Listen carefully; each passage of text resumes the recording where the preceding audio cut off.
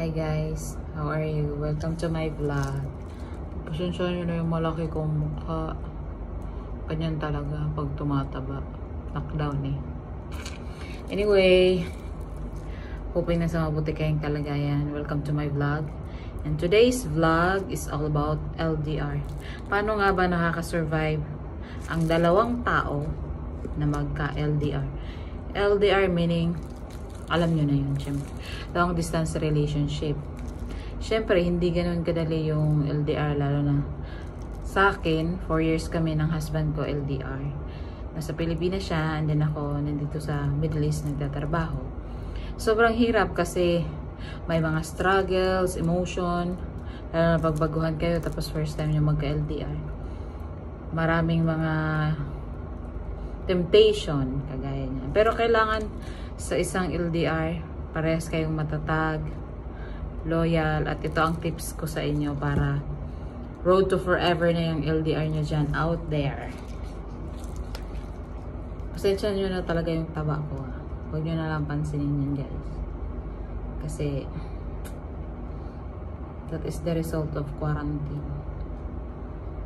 Nagiging mataba talaga. Okay, first and foremost, ah, char. first and foremost, ha, communication. Number one, guys, is communication. Huwag na huwag niyong wawalain yan. Kahit magkaaway kayo, kahit mga nakabitiw na kayo ng mga kung ano-anong salita dyan sa, sa partner nyo, dapat continue communicating to each other para mapag-usapan nyo yung mga bagay na hindi nyo napagkasundoan. Dapat kahit gaano ka busy magkaroon ka ng time sa kanya. Always find a way na makausap mo siya kahit saglit, isang oras sa isang araw, makamusta mo siya. Kasi yun ang mahalaga guys. Maparamdam natin sa kanila na kinakamusta natin, na hindi sila nag-iisa. That they are may isang taong handang makinig sa kung ano yung hold nila, kumusta niya, paano yung trabaho nila, paano yung whole day nila, kumusta yung araw nila. Kahit ganun ka simple guys. As long as na kino-communicate nyo ang isa't isa. Number two is presence. Paano mo naman maipapakita yung presence kung LDR kayo, di ba? Ang ibig sabihin guys, hindi naman tawag nito, hindi naman as in physical na yung pupuntahan mo siya sa bahay niya kasi, kasi nga LDR, di ba? Palagi mong iparamdam sa kanya na mahal na mahal mo siya. Morning, may message mo siya, Hi, good morning, kumusta ka dyan? Kumain ka na ba? Nag-breakfast ka na? I love you. Ganyan yung mga simpleng messages lang na, ma na maramdaman nila, na pagising nila. Excited silang tingnan yung cellphone nila kasi may message galing sa'yo. Tapos, suportahan mo yung mga desisyon na gagawin niya. Ganyan. Number three, ang pinakamahirap ibaba sa lahat, pride. Kasi ba, lalo na kung ma-pride ka, ma-pride din siya.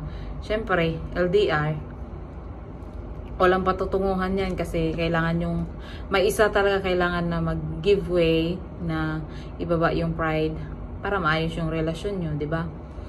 Kasi hindi ka naman niya pwedeng suyuin sa bahay mo or ikaw yung pumunta sa trabaho niya para magbigay ng sorpresa kasi nga, di ba, LDR.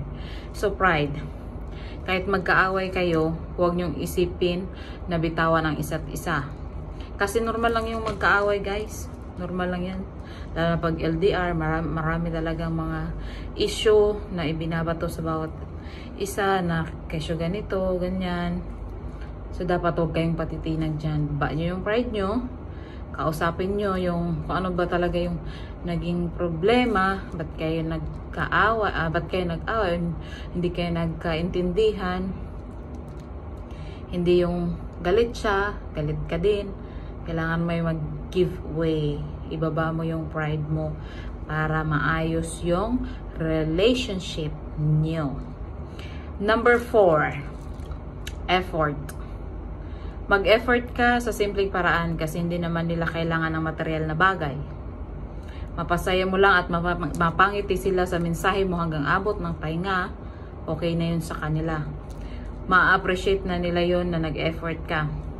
time ang pinaka the best na maibibigay mo sa kanya kahit malayo kayo sa isa't isa. Ganyan din kami dati guys, kahit anong tawag nito? Uh, kasi magkaiba yung time namin, 'di ba? Ng husband ko. Nasa uh, morning na sa Pilipinas, gisi pag papunta na siya sa work niya, ako naman patulog pa kasi 'di ba matagal ako matapos. Pag natulog na yung alaga ko, saka pa ako makakapanik sa kwarto ko. So siya, for 4 na sa Pilipinas, naghahanda na siya papunta sa work niya. Ako, naghahanda na rin para matulog pa lang. Pero, yung effort niya, tiniis niya yun na magising ng ganong oras. At saka antayin ako kailan ako matapos para magkausap kami. Kahit saglit lang. Tapos, saka na siya pupunta ng work. Tapos ako matutulog na rin, magpapahinga. Tapos pagka may time siya doon, magme-message siya, ganyan. Ako rin, magme-message kasi hindi naman siya pwedeng tumawag ng tumawag sa akin the whole day kasi di ba nga bata yung trabaho ko at saka mahirap pagka bata baka hindi ko mabantayan o di ba sa kadutdut ko baka paano pa kaya hindi siya pwedeng tumawag kaya pag available na yung time ko may message ko siya kung pwede na ba siyang tumawag ganyan kailangan talaga ng effort number 5 is commitment. Commitment. Ano nga ba yung commitment? Dapat mayroon kayong commitment sa isa't isa guys. Palaging ilagay sa isip na hindi ka na single. That you are committed. Kahit na malayo kayo sa isa't isa. Lagay mo lagi sa isip mo kung may maglalandi sa'yo, ay, committed na pala ako. Hindi na pala ako single. Ganon. Huwag na pag may nagpakilig sa inyo dyan, Kilig-kilig din. Charot. Hindi ganyan guys. Pasensya na. Hinihingal si Taba. And then number pang-anim pala, number 6 is is that happiness. Happiness.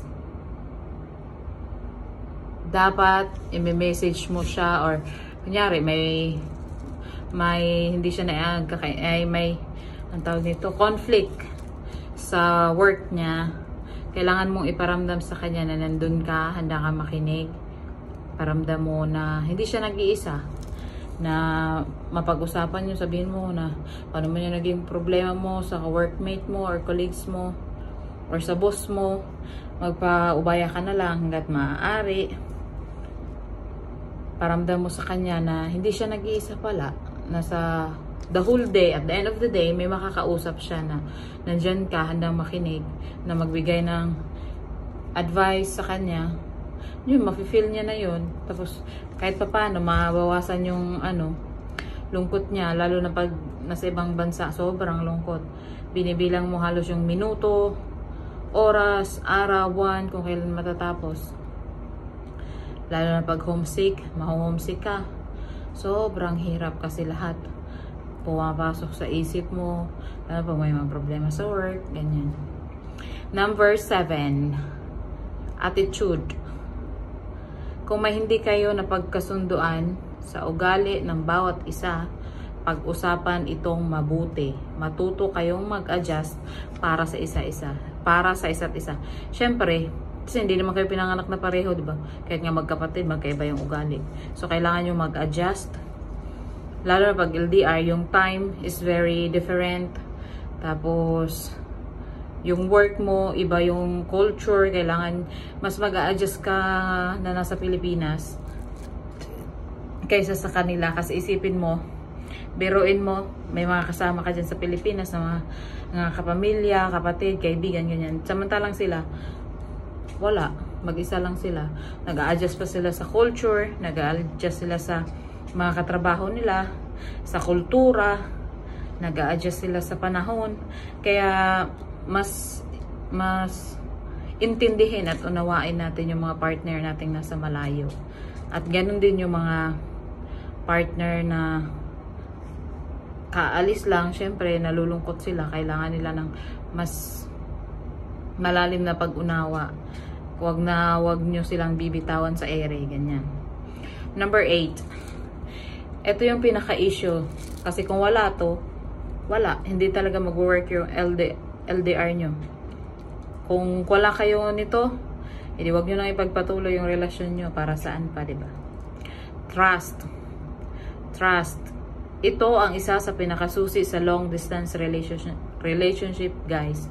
Yung trust. Kasi pag walang trust, wala. Nga nga. para saan pa? Ba't kayo magkarelasyon kung wala pala kayong trust sa isa't isa, di ba? Kasi kung walang trust, hindi mag-work ang isang LDR. Dapat may tiwala kayo sa isa't isa kahit malayo kayo. Kasi kung may trust ka sa partner mo, kampante ka na hindi ka niya lulukohin, kampante siya na hindi mo siya lulukohin, kampante siya na magtatrabaho doon na hindi ka makamessage sa kanya every minute kasi alam niya may trabaho ka rin sa Pilipinas. Kampante siya kasi alam niya sa sarili niya na siya lang yung mahal mo at hindi mo siya lulukohin.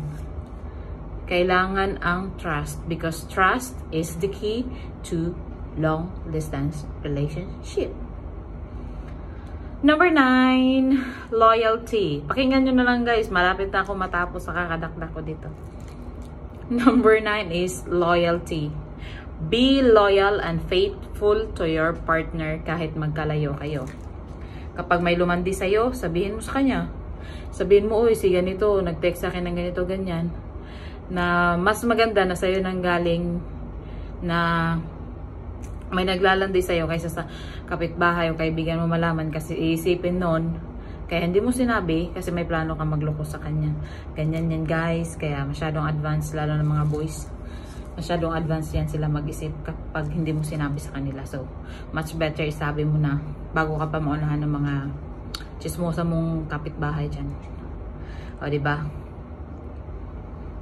Kasi kung sinabi mo yon sa kanila immediately, iisipin nila na wala ka talagang plano lokohin kasi sinabi mo sa kanila. Pero minsan naman may mga partner, hindi lang naman mga boys, na pag sinabi mo naman directly sa kanila, pagbibintangan ka pa rin nila, pagdududahan ka pa rin nila. Pero again, like what I said, trust is the foundation of the relationship, especially sa LDR. Kasi kung may trust kayo, paniniwalaan ka niya, di ba? Ano yung sinabi mo? Last na talaga guys. Alam ko na nawiwirdohan na kayo sa kakadakdak ko. Pasensya na po. Be contented. Number 10. Contented. Dapat makontento kung ano meron siya. Kung ano, kung ano siya. Huwag mong hanapin sa iba yung mga bagay na hindi niya kayang ibigay sa iyo. Mahalin mo siya kung sa kung ano at kung sino siya. O nga, di ba? Di ba? Magiging, maging makontento ka. Hindi na kunyari, mansari nyo, hindi siya nakapagpadala ng bouquet sa'yo dyan, edi magagalit ka na, intindihin mo na lang at unawain na siguro may trabaho siya, hindi, or busy siya, or hindi siya pwedeng lumabas, ganito, ganyan. Isipin mo lang, maging makontento ka. Huwag mong hanapin sa ibang tao yung mga gusto mo. Kunyari, may nag nanliligaw sa'yo dyan na iba, kasi di ba LDR, may mga temptation talaga, hindi talaga may iiwasan yan guys, promise. May nanliligaw sa'yo, may pa-bouquet-bouquet si Mayor dyan, tapos yung, yung partner nyo nasa malayo, syempre, sa busy, hindi nakapagpadala ng bouquet or chocolate, sasagutin mo na kasi yung hinahanap mo na material na bagay, nakikita mo dun sa taong malapit sa'yo, So, kailangan magiging kontento tayo sa mga partners natin in life. ba diba? Para happy lang. Kasi kami, oh, tingnan mo ah, kami ng husband ko ngayon. Four years kaming LDR, uh, LDR. Ang dami naming struggles na pinagdaanan. Halos everyday kaming nag-aaway kasi minsan minsan yung mga walang kwenta yung pinag-aaway namin yung kagaya ng mga signal, 'di ba? Dati Skype Skype pa kasi noon. Tapos bongga yung signal ng Skype Ah, dyan kami nag-aaway kasi hindi kami magkarinigan, hindi kami magkakaintindihan. Pero ang mas maganda dun, at the end of the day, naayos namin yung mga konting gustot namin sa relationship namin. Until nang hanggang sa nag-abroad din siya, parehas na kami nandito sa Middle East. And then we decided last 2019 August, we got married. O, ba Isipin mo yun, 4 years kaming LDR. Nakayanan namin. Kayo ba kaya? Just trust and maging faithful lang tayo sa mga partner natin. So, huwag padadala sa tukso. Kasi yung tukso, nandyan lang yan sa paligid, guys. Parang virus lang yan ba? Na naghahanap ng pagkakataon. Anyway, ingat guys. Especially ngayon, still ang virus na sa paligid pa rin. Keep safe everyone. Please subscribe to my channel. Thank you for watching. Stay healthy and God bless.